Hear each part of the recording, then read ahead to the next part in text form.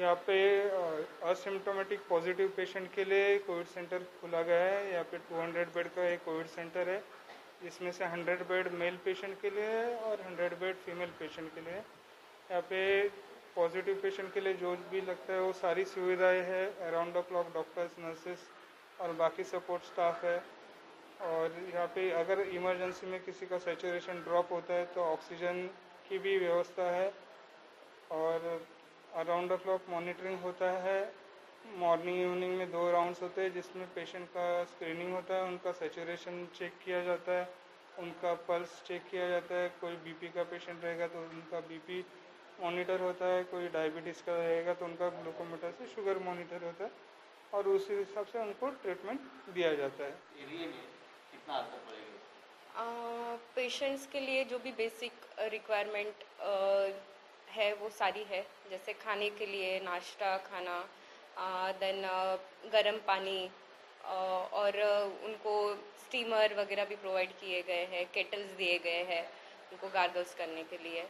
जो एक positive patient को जो भी एक प्रोटोकॉल हमें फॉलो करना है, वो सब सुविधाएँ यहाँ पर दी गई है।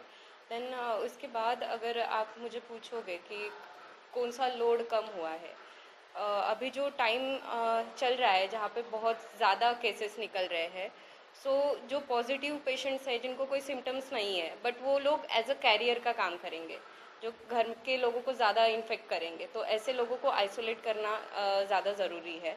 सो so, ये सेंटर ओपन करने का यही एक उद्देश्य था कि ज़्यादा से ज़्यादा जो भी लोग जिनको तकलीफ़ नहीं है बट उनको उनके लिए रहने के लिए जगह नहीं है उनके पास तो ऐसे लोगों को हम आइसोलेट कर रहे हैं ये सेंटर में।